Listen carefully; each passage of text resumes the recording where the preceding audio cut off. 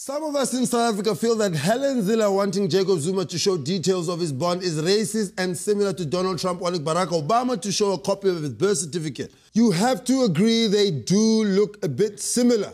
The only difference is Obama actually produced the document. Hmm? Zuma is still going around his house going, I mean, a bond, man, I want this bond thing. I put it there under the drawer.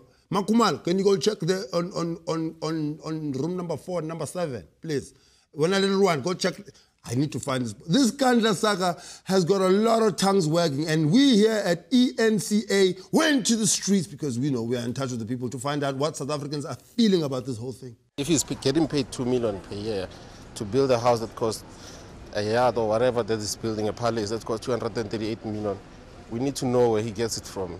It was a big deal when Thabo Mbeki spent about 8 million in his residence. But now we're talking of 250 million on Zuma's residence. That's a lot of money. If black people are upset, then white people must be fuming over this thing. Aye, man. Guys.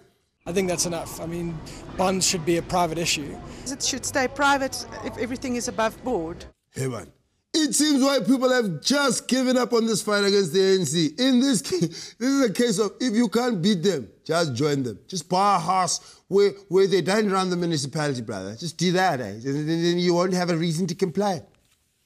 The city press has done its investigation and has concluded that the president does not have a bond and that he was kept abreast of everything regarding the Nkandla Palace. This is after he strongly denied having any knowledge of what the state was spending on the palace. It turns out he even put pressure on the ministers to finish the house for Christmas. Ah, Our Jacob oh, no. The DA went there to investigate to see what the hell was happening there with their own eyes. They were refused entry. No one else really knows what's going on in that place, right? And no one knows what the money is being spent on. We managed to locate a census lady who did the count at the Nkandla compound. And I bet you Jacob is sitting at home going, yo, yo.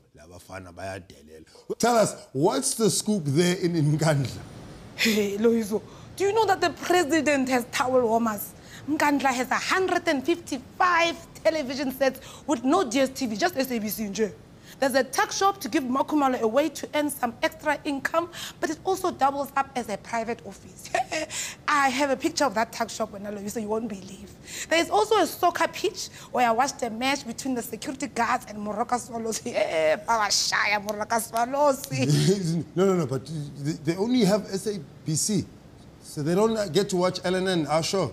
That's, that's crazy. Tell us more. Uh, I will tell you that access to water and electricity has increased in the compound, but the president still uses candles, I'm sure. Why does the president use candles? Does he not trust the ways of the white men? Eh? And his fire that runs through the copper cables. Why does he not trust them? What's going on? Hey, man, Loyiso, he's just a, a romantic, you know. Oh, are residents in the area complaining about the president extravagant compound? Are they are the people around him going, but this is too much? Complaining for him. For one, the light from the house provides the light for all the other houses with no lights, even it's dark. Okay. South Africa, that's a bit bizarre. We'll be back after the break with David Kibuuka send us emails and Twitter and Facebook. I, this is bizarre. Very bizarre. Very, very bizarre.